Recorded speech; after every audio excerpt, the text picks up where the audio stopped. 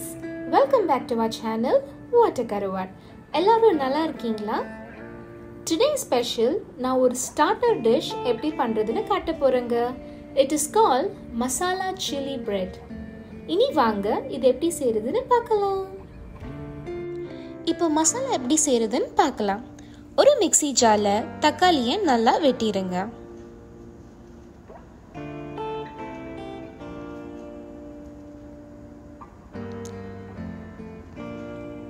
ஒரு டீஸ்பூன் மிளகாய்த்தூள் one teaspoon coriander powder இஞ்சி பூண்டு அஞ்சுலேருந்து ஆறு பீசஸ் ஆட் பண்ணிக்கோங்க.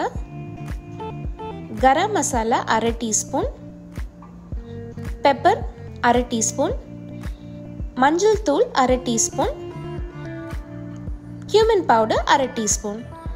எல்லாத்தையும் சேர்த்து நல்லா அரைச்சிருங்க.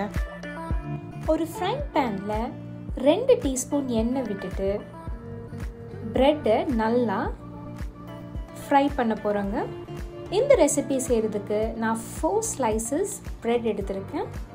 ஃப்ரண்ட் அண்ட் பேக் ரெண்டு சைடும் நம்ம நல்லா கோல்டன் ப்ரௌன் வர வரைக்கும் ஃப்ரை பண்ணணும். இப்போது இன்னும் ஒரு பேனில் ரெண்டு டீஸ்பூன் நெய் விட்டுருங்க.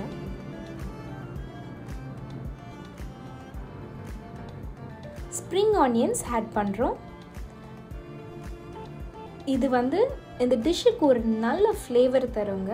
நல்லா சாட்டே பண்ணிடுங்க ஸ்ப்ரிங் ஆனியன்ஸை நம்ம அரைச்சி வச்சுருக்க மசாலாவை இதோடு சேர்த்துட்டு நல்லா சாட்டே பண்ணுங்கள் பச்சை வாசனம் போகிற வரைக்கும்.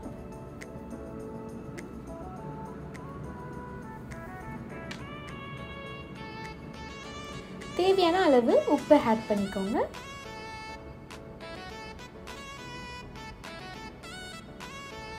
மசாலா நல்லா குக் ஆயிடுச்சு இந்த டைமில் நம்ம ப்ரெட் பீசஸை ஸ்கொயராக கட் பண்ணி வச்சுருக்கோம். அதை வந்து மசாலாவில் நல்லா கோட் ஆகுற மாதிரி நல்லா சாட்டே பண்ணி எடுத்துருவோம். தேவையான உப்பு சேர்த்துட்டு திருப்பி நல்லா மிக்ஸ் பண்ணி விட்டுருங்க. இந்த டிஷ் வந்து ரொம்ப ஈஸியான டிஷ்ஷுங்க அதுவும் ஒரு ஈவினிங் ஸ்நாக்குக்கு ரொம்ப சூப்பர் காம்பினேஷன் டீயோட. சின்ன பசங்களும் நல்லா விரும்பி சாப்பிடுவாங்க இந்த டிஷ்ஷை ஈஸியான மசாலா பிரெட் ரெடி ஆயிடுச்சுங்க. கார்னிஷிங்க்கு கொஞ்சோண்டு ஸ்ப்ரிங் ஆனியன் ஸ்ப்ரிங்கிள் பண்ணியிருக்கேன் இது நீங்கள் யோகட்டோட தொட்டு சாப்பிட்டா இன்னும் சூப்பராக இருக்கும். இந்த ஈஸியான ரெசிபியை ட்ரை பண்ணி உங்கள் ரிவ்யூஸை கமெண்ட்ஸில் சொல்லுங்கள் எங்கள் சேனலுக்கு சப்ஸ்கிரைப் பண்ணாதவங்க மறக்காமல் சப்ஸ்கிரைப் பண்ணுங்க ப்ளீஸ் லைக்கும் ஷேரும் பண்ணுங்க. Bye until we meet again next time thanks a lot for your time